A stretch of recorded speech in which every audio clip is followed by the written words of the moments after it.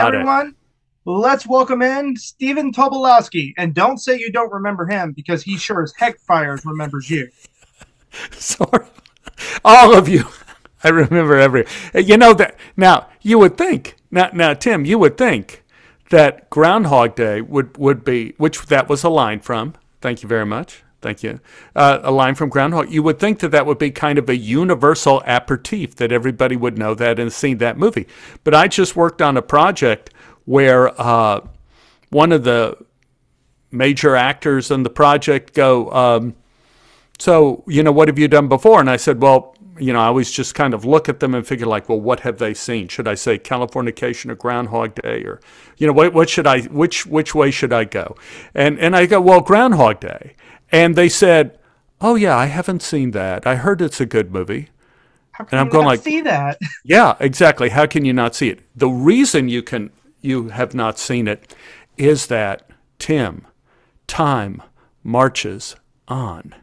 And it's like the cruel, cruel thing I've learned in this pandemic. As you know, we've all gotten older without the benefit of having accomplished anything or done something. We've had two years of our lives just siphoned away where we've been inside of our little rooms and, and hoping to make the most we can out of what little opportunities we have. And then we realize time marches on. And it it's not the same anymore. Nothing is the same anymore. And and and that's but I, I don't want to get too grim at the beginning of the Tim podcast, but, but just to say that uh, I appreciate the uh, Groundhog Day reference in that it still exists. And it's amazing because it's what, 40 years old, something like that, 30 years old? Let's not go that old. old. 27 years old. We'll just go with that. Yeah, yeah. Are you 27? I'm 31. I'm, You're 31. I'm, okay. So they did uh, a study, you know, of baseball, you know, baseball players and everything, and the top age, the, the age in which you reach your peak, is 26 and 27. And then after that, you begin to go downhill. So you, my friend, are on the downhill slide, even at the the cub-like age of 31. You're on your way to the grave. So, so like make the most of whatever you can out of this joyous time. We're here. That's what. That's how I live life nowadays. You know, just yes, live it, do it, have fun. That's the secret of life. Yep, yep. So I've got to say, what's some of your favorite roles that you've done? favorite roles? Well, to begin with, certainly Groundhog Day was one of my favorites for a lot of reasons. And you have to understand one of the most popular reasons isn't that, oh, the movie did well. Because when you're an actor, you have no sense when you're making a movie or when you're doing a project whether it's going to be good or not. You, you assume it's going to be good because you read the script and you like the people in it. Uh, but Groundhog Day was good for a lot of reasons. It was good because I got to work pretty much exclusively with, with Bill Murray. And I everyone has all these stories about Bill and his uh, how his eccentricities and you know whatever. One of the greatest comedic actors I've ever worked with. Absolutely bar none. Every take he did was committed. Every take he did was in the moment. Every take he did was filled with life and it was just a great experience for me working with him, and it was a great experience working with Harold Ramis. I learned so much about comedy just in my sitting down, my little conversations with Harold Ramis in between shots. It, it was just wonderful and lovely cast. You know, so Groundhog Day was one of my favorites. Um, I uh, I had uh, one odd favorite, uh, Last Flight Out was a TV movie uh, with Arliss Howard and James Earl Jones and Richard Crenna, and a wonderful cast. Uh, Haing Ngor, yeah, it just a wonderful, wonderful cast. Uh, but what was great about it, it was a TV movie, and we shot it in Bangkok. We shot it in the jungles of Thailand. And so for a TV movie, they flew me out first class from Los Angeles to Bangkok. And let me tell you, you know, when you fly first class to Asia, you know, you're treated like, you, you know, a billionaire. It, it just, and behind me was this little Asian woman all curled up in her seat and she was kind of sleeping like a little kitten. And I'm thinking, like, oh, wow, this is, and there was like nobody else kind of there. We had first class kind of all to ourselves. And we take this huge long flight to Thailand and we get out at the Bangkok airport and you're, of course, ex- completely exhausted from the flight. And I get out and there were thousands of people waiting for the flight screaming because of the little Asian woman behind me. I had no idea. She was the she was the Elvis Presley of Vietnam. She was their lead the leading actress, you know, Kieu Chinh. She was she, magnificent actress. Uh, in the Joy Luck Club, she's the mother who has to leave one of the twins behind. If you if you ever saw that movie, so like all of a sudden, there Richard Crenna became my best friend in the world and the, he is the funniest man, was the funniest man on earth, and just the experience of being in Bangkok and then being in the jungles for a month was amazing. And my wife back in the United States gave birth to our first child. That's that's beautiful. So I'm coming back and I'm going to be a daddy. So that was huge doing that movie. And um, one more little James Earl jo- James Earl Jones was in this movie. When I was a kid growing up in Dallas, one of my favorite actors in the world was James Earl Jones. Uh, he was just a huge star at the time. Uh, he was just breaking out as as one of the biggest stars in the world before he was the voice of CNN and, and ABC and everybody else and and uh, Darth Vader and whatever you know, he was the uh, the Great White Hope. I think was that breakout movie of his, uh, just incredible. And then, of all things, when I was a student at SMU, they decided to rehearse the Broadway production of of Mice and Men at SMU with James starring James Earl Jones.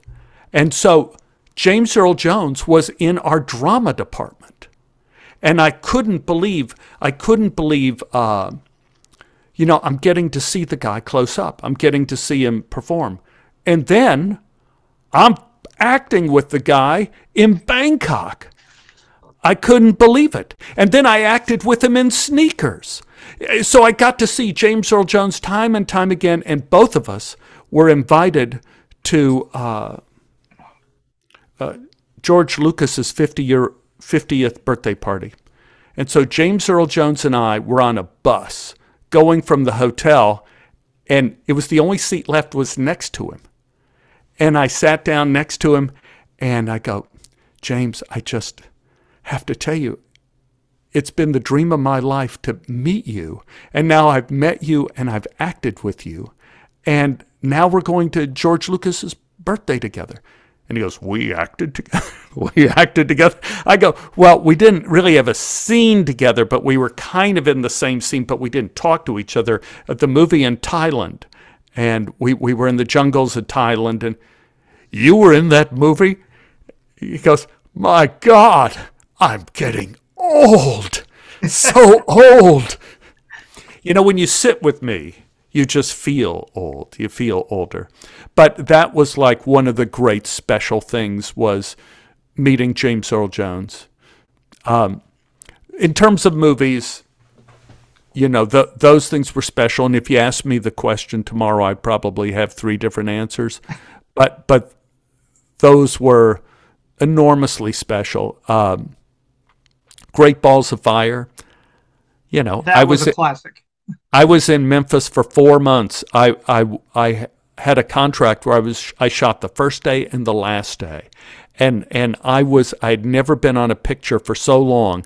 Not only did I shoot in Memphis for 4 months, but I went to England for almost a month, like 3 weeks to shoot the English scenes from Great Balls of Fire.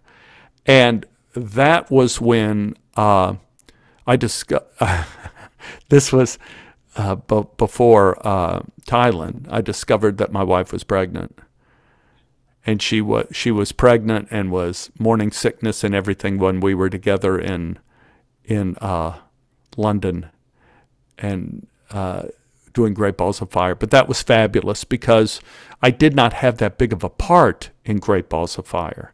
So I had a lot of free time in Memphis, and I went to all the blues clubs.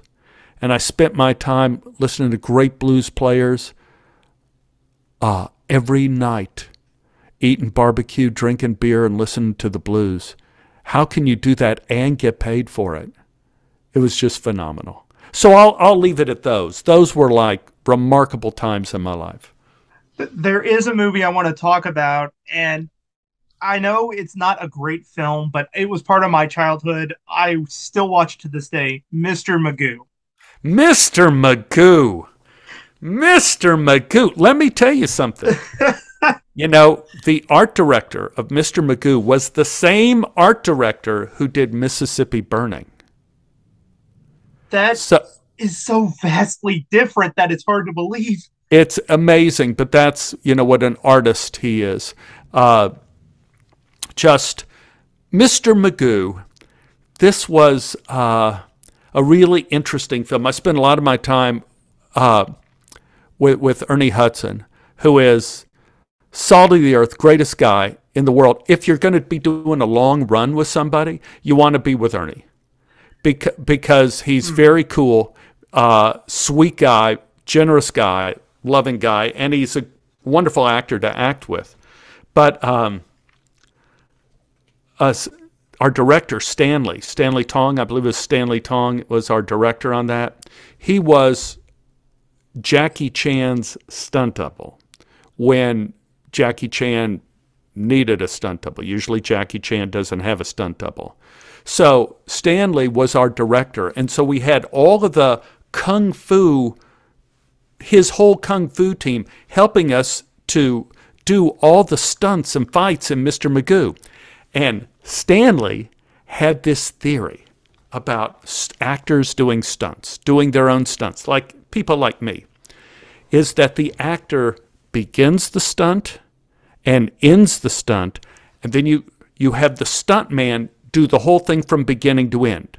And so what you have is you actor starts the stunt, cut, actor leaves, stuntman comes in dressed like the actor, does the whole stunt up and then he leaves, and then we see where the stunt man has ended up in the stunt. Then you dress up the actor, put blood on him, or in my case, blood and bruises, and and then they put you in the position that the guy ended up in.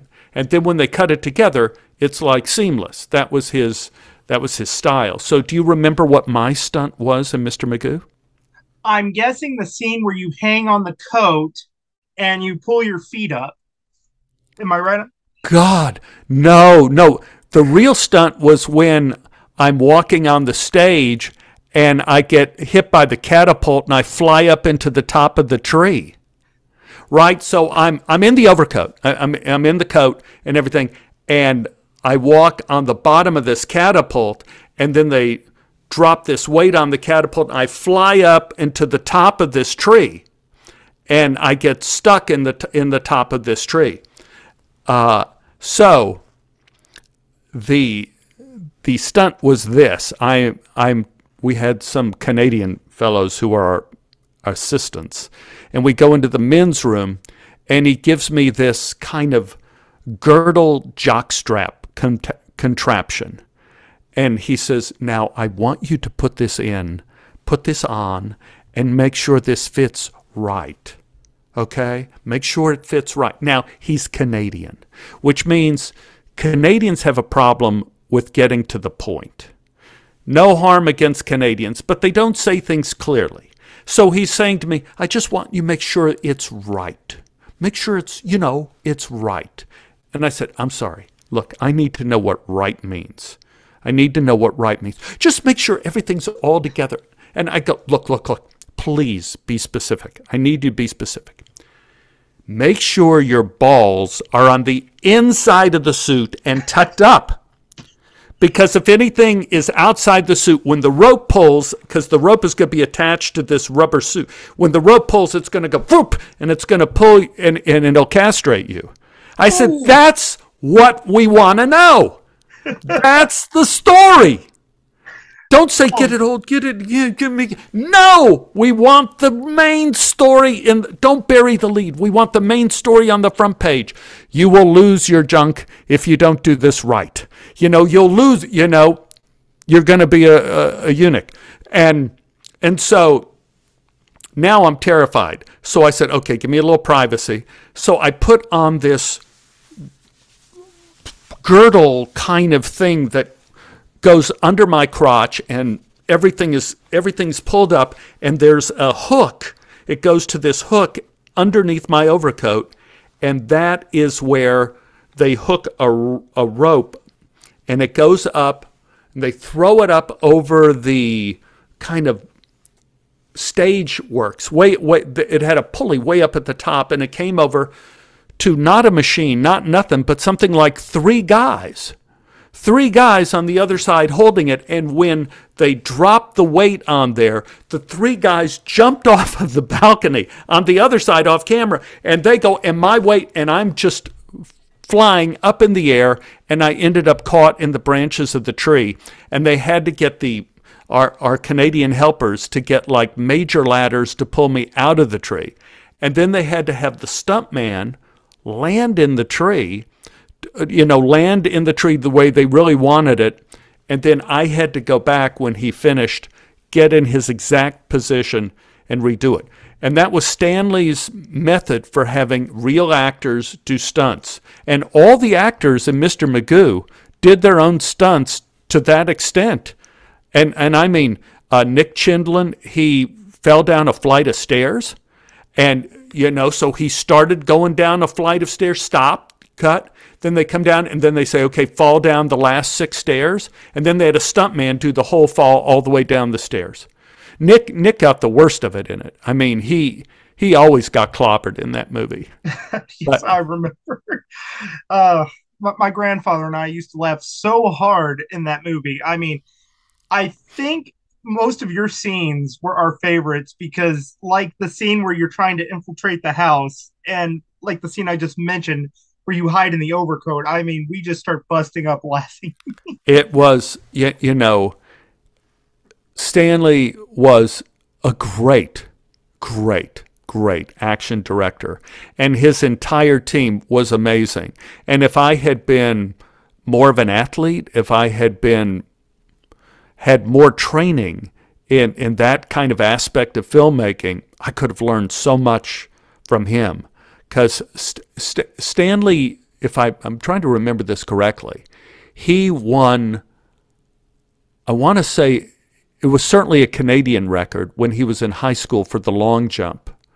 When he was in high school, he, he jumped long, he won the Canadian record, and it could have even been a world record uh, of the distance he had jumped when, certainly for his age, but it was like this huge, huge jump. And that was the logic behind him having Jackie Chan do the stunt where Jackie Chan jumps off of the building and goes through a window across the street because they measured the distance and the distance was about whatever Stanley was able to jump. And so Jack, you know, I both of those guys are like the most amazing athletes. And it was great. I met Jackie Chan because he came to see Stanley while we were on the set, and Jackie Chan took us all out to dinner, which was you. Jackie Chan in these movies is always humble and like almost a country bumpkin kind of rube with, with this kind of with these high tone kung fu skills in mm-hmm. life. When Jackie Chan walks into a restaurant, he's treated like the king of the world. When he walks into a restaurant, everything stops. And, uh, you know, the most gracious guy in the world, but it's like you you realize you are with cinematic royalty. It was it almost be like if you were with Bruce Lee. It, it, it's like that kind of reverence for him and his ability. So, you know, you want to you want to be with Jackie Chan. That's one thing you really want to do. So, is it true that you were originally supposed to play Al in Home Improvement? Yeah, yeah. Again, this is this goes right to the uh, question about, uh, I guess everything from great was it the the show I did in Thailand, you know, the last flight out, and uh, Great Balls of Fire, all of this stuff. So I was, I auditioned for Home Improvement. I did network tests for Home Improvement and I was offered the role. Now, my wife was pregnant at the time. We, we, we had just gotten married. Annie was pregnant. And they said, well, this is the deal. We don't know if we're going to start the, the pilot in 10 days, 10 weeks, or 10 months. And my salary was, I want to get this right, was like, I think $16,000 a week.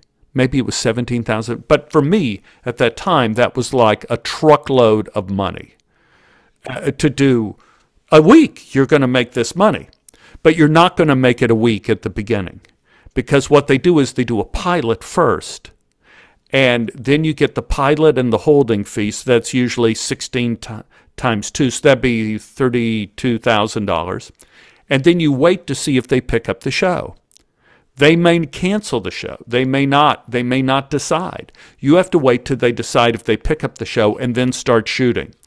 So if they weren't going to shoot the pilot for 10 months, and I ha- they had it in my contract that I was not allowed to work on any other shows, I was not allowed to audition for anything else. I was I was theirs. They they they had me locked down to the contract. But they weren't going to lock themselves down as to when they were going to start shooting. And so I told them 10 days is fine. I can even go without working 10 weeks and do the pilot, but I can't do 10 months. I can't do 10 months without working because I have a baby on the way. I have house payments to make. I'm not a, a rich person. I, I don't have this bank account that I could live off of my own fat, you know, that I've stored over the winter for 10 months. I, I need I need money. So they compromised and they said, we'll allow you to do one other show in between when we decide to do it and start. And I just I cuddled up with my dear one Annie and I just said, baby, this is nuts. But I don't think I could do this job because if I sign the contract, they have me for whenever they want to shoot me. If it's 10 months, I'm screwed. We're screwed. And uh, I couldn't be in any other show. I could, and not only that, but once I signed the contract, I was theirs for seven years. So they had me exclusively for seven years, regardless of, of uh, when they were going to do it or what my part would evolve into, unless they would fire me along the way which could happen too. So eventually, I had to make one of the hardest, certainly hardest career decisions of my life at that time, and just said, I can't do it. I can't do it. And then looking back, lucky me, you know, had I had signed that contract, I would have been under contract with them for uh, Groundhog Day. I wouldn't have been able to do Ned. I wouldn't have been able to do it. Yes, I would have been a multimillionaire.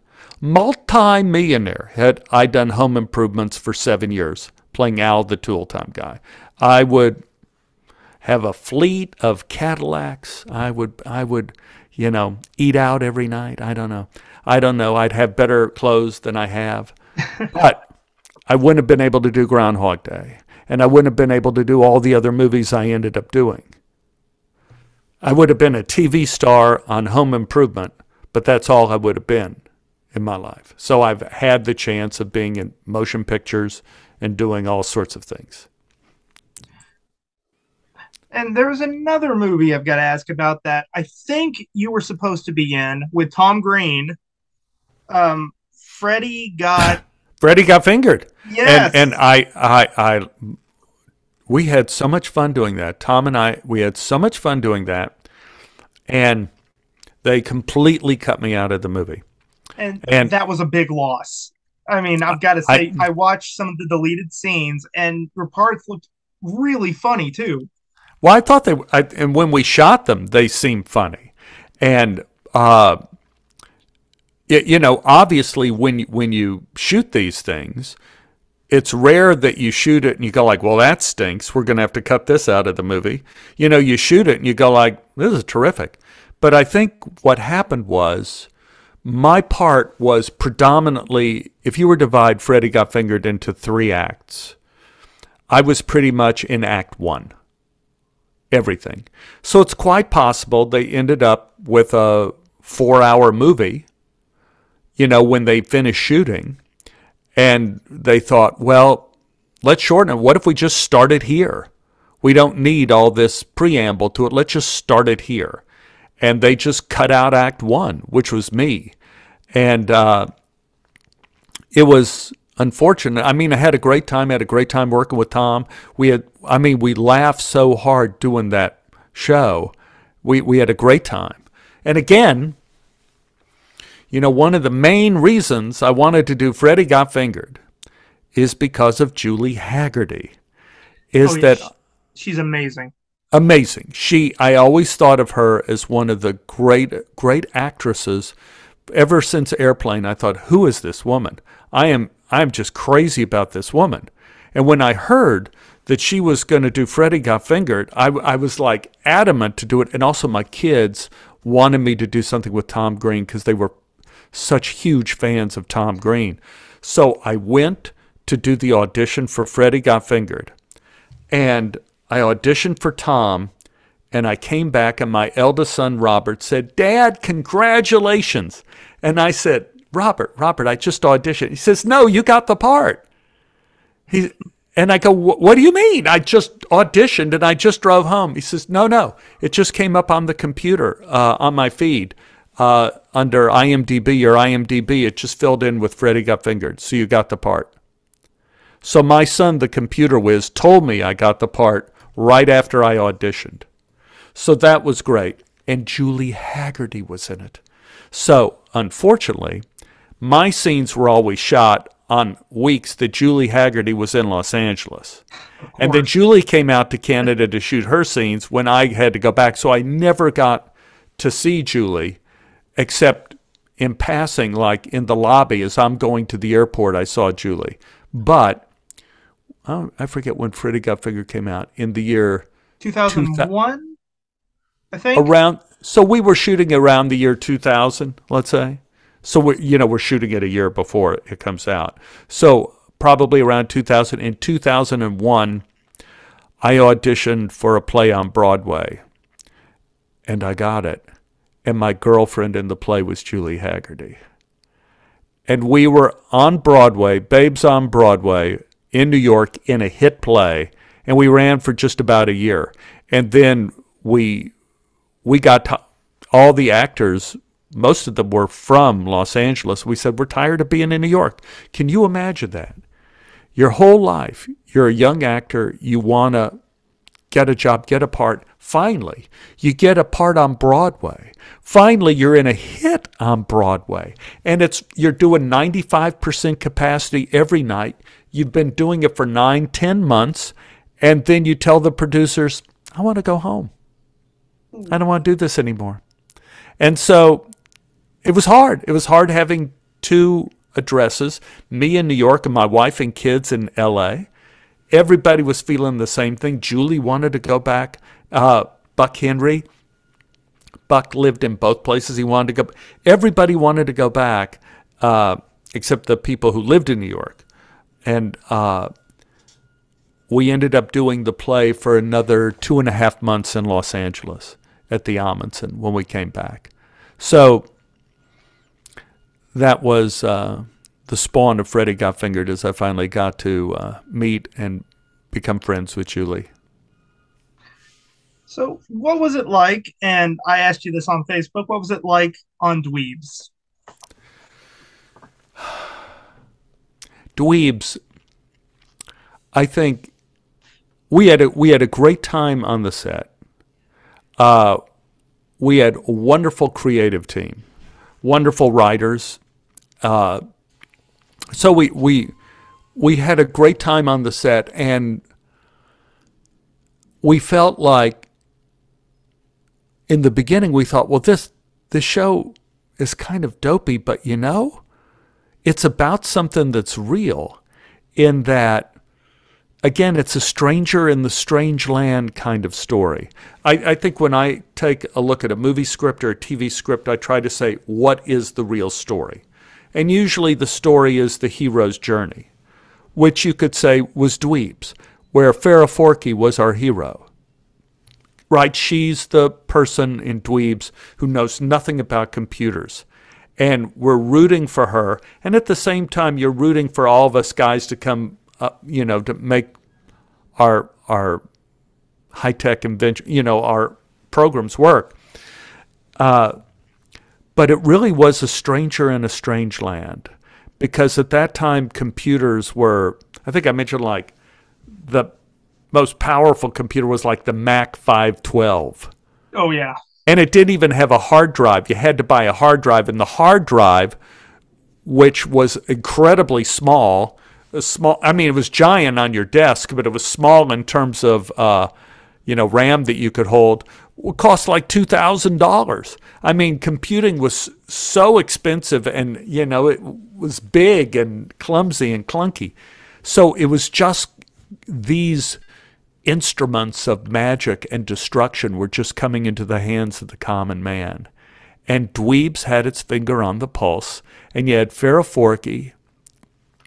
a beautiful stranger in a strange land, who doesn't know anything about computers, but she knows about human behavior. And you have all of these guys who are dweebs, social mis- misfits, uh, too shy, too bashful, can't get along with people. And so you have them teaching her about computers and her teaching them about how to live as civilized human beings. And it was wonderful. It was a wonderful idea and a wonderful show. Peter Noah was our executive producer. Just brilliant, brilliant guy. He, he, he's done so many great television shows along the way. Here's another guy, you know, I learned a lot from, Peter Noah. But it just, I think we were opposite Jeff Foxworthy, I want to say at the time. Uh, but we, you know, Jeff Foxworthy got a lot of the, won the, won the hours or whatever. But, but, uh, we did really well. We, we beat everybody else except the number, we were usually like number two for that night. And also, it didn't help that David Letterman was making fun of us at night. I think he was on NBC at the time, and, and he was making fun of dweebs and saying, well, at least I'm not on the TV show Dweebs. You know, and he was, every night was just making a David Letterman type joke about how stupid the show Dweebs was, even though he had never seen it. Shame on him. But, but, yeah, you know, that's, that's comedy. And so it kind of shamed people from watching Dweebs because they thought it would be stupid because David Letterman is very smart, very funny. So if he hates it, I doubt if he had seen it. So it was just a matter of timing. Yeah, I, I think what people see it as is like a prototype for the Big Bang Theory. And me, yes. I think it's funnier than the Big Bang Theory, especially the chemistry between Carl and Vic I mean, I just love how Feldman teases your character throughout the run of the show. He gets some pretty funny one-liners in there. And Carl yes. is probably my favorite character.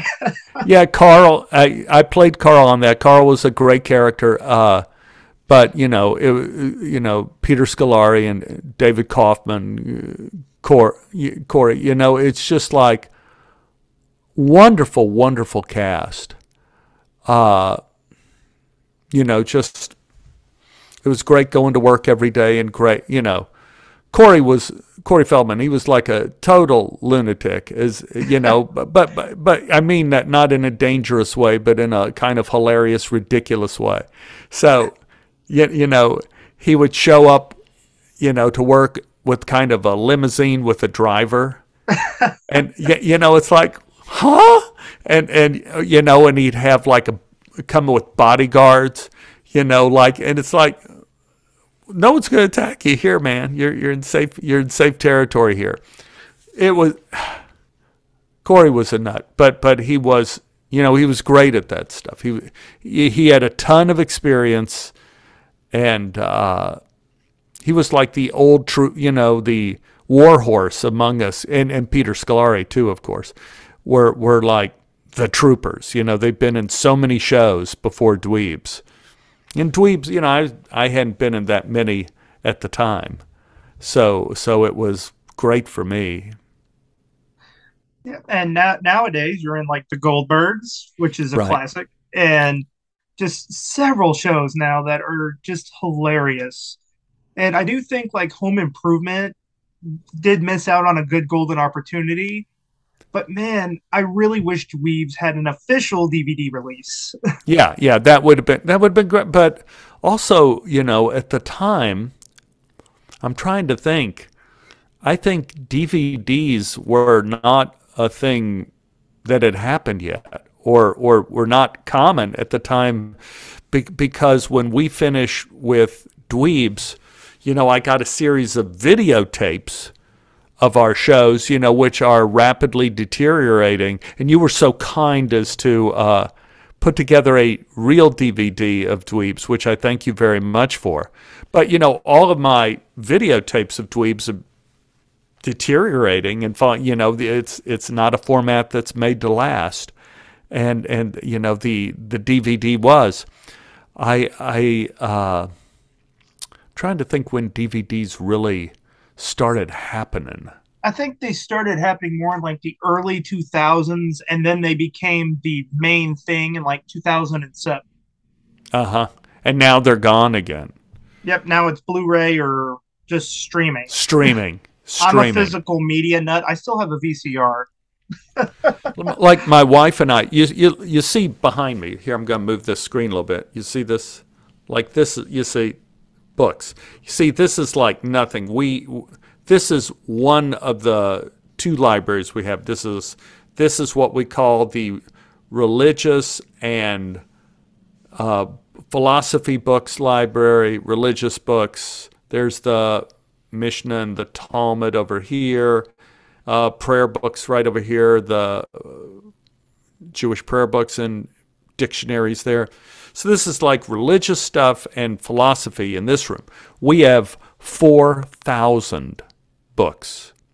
And my wife spent two years with a library program and cataloged each book and where they're located. So when you take a book off of the shelf, you must put it back in the same spot, or my wife's two years' work is wasted. and and eh, and we were sitting down at dinner the other night, and and it's all because you know she was a English major in college, and she with a specialty in pre-Shakespearean literature. So she was able to read uh, some Swedish, Middle English, uh, all all sorts of those weird pre-English languages. So we have a bunch of books of hers that like you can't even read, and you know different versions of Chaucer and Shakespeare and all that stuff in the other room, and so she was one of these people who read a lot and loved books and had a lot of books. And I'm this person who my first job was reading books to a blind woman when I was in college. And and that was the first time I really began to read a lot and think like, "Oh, I love this." So I began to be more interested and buy books at the time. Uh, so in our house, we were sitting down last week, and she said, "You know, if the pandemic continues and everything deteriorates, our libraries in this house are going to be so important because the streaming stuff will be gone. You know, you know, once you pull the plug on streaming, it's over. It's gone if there's no power. And and here we have the physical books and people are going to want to come and sit and read, you know, read kid books. I'm a grandfather now, so I just can't wait to read uh, Goodnight Moon to my little granddaughter. And I don't have to take her to the computer screen to show her it. I could just sit down with the book at her bedside and read it to her. It's nothing like it. Well, don't feel bad. I mean, I have a collection of Blu-rays and DVDs. They fill the entire wall under the TV in the garage. what what is the genre that you love the most? Well, I'm a comedy guy. I love comedies, but then there's my science fiction kicks. And I also love just about anything. I mean, some days I'll watch Blade Runner or Star Wars. Some days I'll watch something simple like Harold and Kumar Go to White Castle, Groundhog Day. Just I'm a movie guy in general.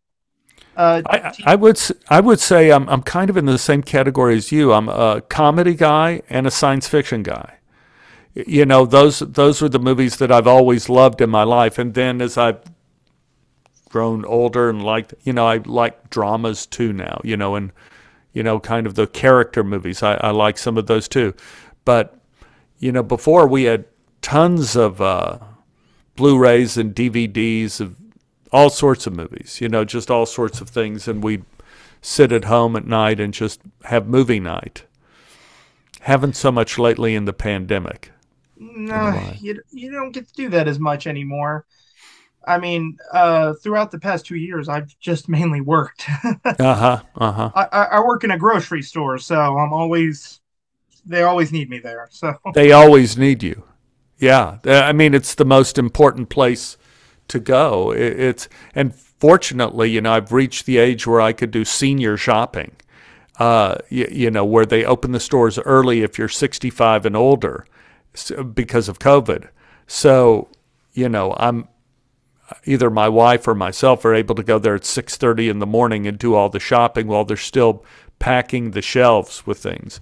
But you realize it's how close you are to the to with with the supply problems and the supply shortages and everything going to stores. You realize how close you are to things breaking down. Oh yeah. Now I do. Now speaking of science fiction, I've got one more movie I'd love to talk about. Yep. Spaceballs. Spaceballs. Spaceballs. Amazing. Uh, I was doing a, mo- uh, a play at Los Angeles Theater Center with Bill Pullman. Uh, we, we, this crazy Norwegian came over and first directed Three Sisters, which was the first play I did at LATC, Los Angeles Theater Center. And then the crazy Norwegian directed this play, Barabbas, starring Bill Pullman and I had a part in it, and the woman, Ann Hearn, who was going to become my wife, had a part in it. And so Bill and I were in part of this theater company, and Ann knew Bill from another theater company too, so we all knew each other. And, you know, Bill was just saying, Oh, I'm going to be doing this Mel Brooks movie uh, soon, Spaceballs, and, you know, based on Star Wars. And where I'll go, oh, congratulations, congratulations. And then after one of our shows, Bill says, Stephen, there may be a part for you in Spaceballs. Would you like to meet Mel and try out for it or something? I go, well, sure, I'd love to. So Bill, Mel Brooks came to see our show, our, our play, Barabbas. And Bill was magnificent in it. My wife was very good in it. And afterwards, Mel Brooks met me in the lobby. He says, How would you like how would you like to have this part in Spaceballs? You know, how would you like, you know, this, and I'm going like, yes, sir. Yeah. Well, just come over to my office and we'll have an audition. We'll have an audition. You know what an audition is? You'll come and you'll do the part for me. And then I'll talk to you and then we'll do it again. You know, and I go, well, yeah. I couldn't believe it. I called up my mother and father and said, you won't believe it. I have an audition with Mel Brooks. And this was huge because out of all the people in LA, my mother and father didn't know anybody. You know, they wouldn't know if I were to say, oh, Howard Feuer, the casting director, called me in to read for uh, Alan Parker, you know, Mississippi Burning. And they wouldn't know anything about those names. They don't know any of those people. But Mel Brooks, they knew. And so they thought, oh, this could be a sign of our child's success. so I went in I auditioned for Mel, and he goes, "Okay, now can you do can you do it bigger? Come in and do bigger." And being someone who loved Mel Brooks films, I knew what he meant by bigger. And so, you know, I did about, hey, he says, okay, fine, you'll do the part. And you're going to do the part. And what, we'll give you, we'll give you what? Maybe a thousand dollars, a thousand dollars for the day. We'll shoot it one day. You give, give you a thousand dollars for the day. And I go like, great. That's wonderful. So they called me up and they said, uh, well, Stephen, you're going to shoot your scene on Monday. So I came on Monday. I'm sitting there with Rick Moranis, John Candy. Uh, you know, I'm, I'm, going like, oh my God, oh, this is like amazing. And I sat there all day and they never got to my scene. and they said, well, come back tomorrow. So I came back the next day, never got to my scene. Came back Wednesday, never got to my scene. Thursday, never got to my scene. And I said, listen, you know, I understand that it's not the most important scene in the movie, but can you at least, could somebody, I mean, I'm here you know, I'm waiting to do it. And the uh, assistant director, the AD they call him, says like, "What's your problem?" I said, "Well, I've been waiting here four days." He says, "You get paid every day you're here." And I go, "What? You you mean I'm making a thousand dollars a day just to sit here and eat the snacks?" Go, yeah. oh, fine. Take your time. I thought I was just sitting here. You know, no and we shot it Friday. I said, So you mean I made $5,000 for this part instead of one? Holy mackerel. This is the kind of job I want where you get paid for doing nothing. So, you know, it was huge that way. And then we all went to the premiere, and the show was so funny. And my part, you know, not only got huge laughs in, in the movie theater, but applause. You know, you captured their stunt double. So I thought, like, well, one much, but at least you know it for for whatever it was, it was successful. So I uh, I have lo- and I worked with Mel again in uh, Mad About You, and I I remember I I was the principal of the school. I always seem to play principals now. I, I was principal of the school, and he was taking classes. He was like Uncle Phil, wanting to take some classes at the high school. And of course, he's disrupting all the classes. So it was just great because I walked in, met Mel, uh, Mel again on Mad About You. Goes, and we worked together. We worked together on Spaceballs. And I go, that's right, sir. We did. We did. And uh, so that was a great experience. Uh, Spaceballs was a great experience, and it's rightly, you know, you know, satires of movies rarely can be successful because the movies get old and we forget what they were. We don't know what the references are anymore. And the you know, time marches on as we discussed at the beginning. Time marches on and we don't know what we're making fun of. But that isn't true with Star Wars because Star Wars George Lucas made such an amazing amazing film that it spawned like an entire culture and it will never i you know i can never say never but least this year it's not going to go out of style. And everybody knows all those characters and they love spaceballs. It's a fantastic film. I mean i've probably seen it about a million and a half times so. And, and, and always the line, everyone on this ship is an asshole, just gets me laughing so hard. oh, it's great. It's great. It's great. It's just wonderful. It's wonderful to go to a comedy. I think I saw that in the theater that is now El Capitan, which is a big theater here in Los Angeles, big fancy theater now. But back then it was just a big theater on Hollywood Boulevard. And to have a full house of people laughing and clapping from beginning to end. It's just amazing. It's amazing. I don't know if I've seen comedies do that. You uh, know, certainly no one's been in a movie theater for a couple years, so it's hard to say. But to, to have that kind of laughter that's usually only reserved for stage plays, a theater, but have Mel be able to create that on film, something so continually hilarious. It's just wonderful. Well, I do want to say thank you so much for being a guest. It has been an honor to have you on. Well, certainly, Tim, it has been a pleasure pleasure to meet you after all this time. Uh, bumping into you on Facebook, it's it's been a pleasure, and um, it, it's always nice talking about uh, things that I don't usually talk about, which which is all these early projects that I was involved with, and they're probably the ones that mean the most to me. Oh yeah, I mean, there's so much I could keep going on about. We'd be going on for two or three hours if we did. but yeah, I mean, there are so much. I mean, I enjoyed your character on Freaky Friday. Yeah. And I just, I don't know, you just bring an enjoyment and charisma to almost every performance I've seen. And your character is instantly my favorite right when I see him. It's like, hey, I know him. I love this guy. Terrific character actor. Well, thanks thanks for that. You know, I've I've been lucky in that a lot of the parts I play haven't been just like wallpaper. You know, that they actually do something in the movie rather than just being a perfunctory part. I mean, certainly early in my career, I played district attorney. You know, I always go like, the part is important if you have two names, like Ned Ryerson, Clayton Townley.